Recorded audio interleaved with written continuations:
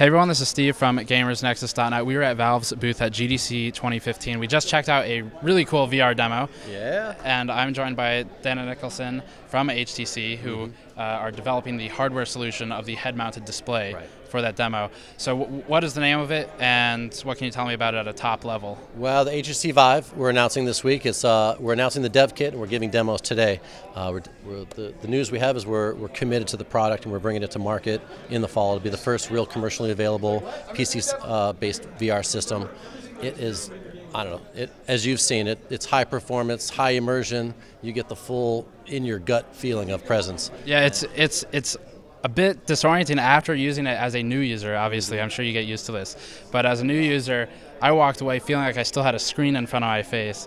But it was extremely immersive. Mm-hmm. Uh, there was a lot of presence, as as we call it in VR, and the the depth in terms of my own depth perception, using it, moving my arms around, it yeah, was unique. yeah, it's definitely it's sort of the full room scale experience is what we're trying to demo today. I mean, there's a couple demos where there's you know some crouching and some close inspection, uh, as well as sort of marveling at the at the atmosphere. I, I think there's in these demos, it's great to see. Like it's, you know, you might notice there's no shooting games in these games, but I think that shows the promise of the platform is that even some of these simple things like fishing and some real easy analogs, once they're so immersive and they're so real, some of these even easy things are, or they, they don't seem as there's no explosions, but yet they are riveting and they're they, are they are so real. It's a great great demo of, of really the platform and the promise.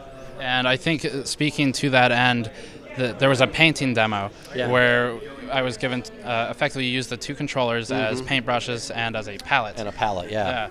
And uh, like you said, no explosions, no craziness, but actually very fun yeah. and cool. Um, so ha- we, we should clarify, I guess, for the viewers, this is a full room experience. Right. And how does it how does it interpret my location as a user?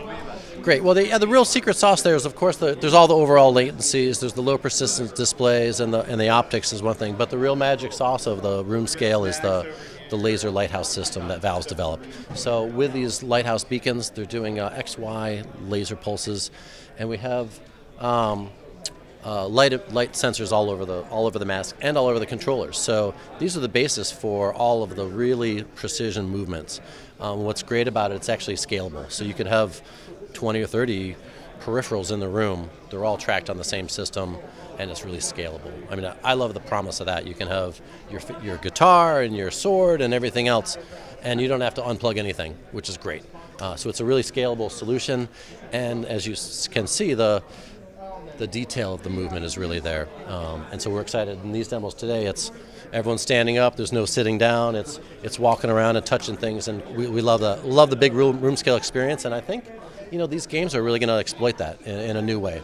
I mean, a lot of the games we see already are sort of in a cockpit or something else, yeah. and so I think this is this brings a whole new opportunity for developers, and we're excited to see what people will do. Do you have a target release timeline or a price yet?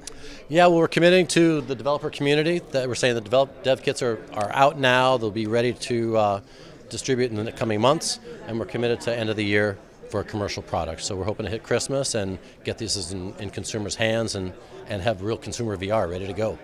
And so, so this is the HTC Vive. HTC Vive and it's part of Valve's VR solution, which we've posted about previously.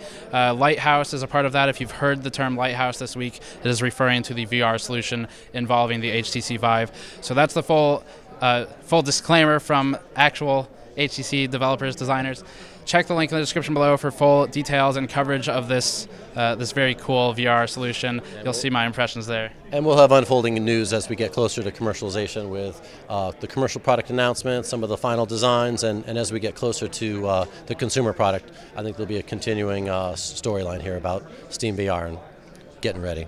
Very cool. Looking forward to following it, and we will see you all next time.